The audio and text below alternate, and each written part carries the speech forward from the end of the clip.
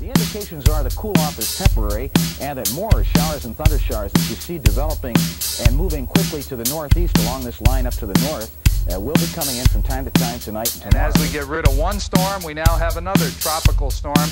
This is uh, Edouard, and that is the Spanish spelling, so don't think we misspelled it. the Northeast was darkened by rain clouds. People in Atlanta have the best view of today's almost total lunar eclipse of the sun, one of nature's rarest spectaculars. Temperatures fall and confused animals fall asleep. Hurricane Josephine swirling below Challenger is no longer considered a threat. The shuttle is set to land on schedule at Cape Canaveral on Saturday.